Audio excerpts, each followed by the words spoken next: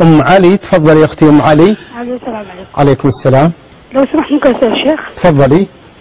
آه أنا جدتي رضعتني مع خالتي. وجدتي رضعتني مع خالتي. طيب عيال خالي أكشف عندهم ولا لا؟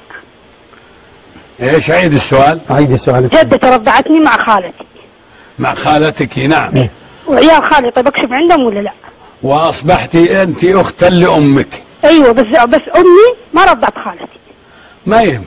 أما ها أنت رضعت من جدتك. أيوه. كم رضعة؟ خمس رضعات. يعني تام. أقول الرضاعة تام يعني. أيوه. أي أنت أصبحت أختا لأمك. أيوه. لأمك. نعم.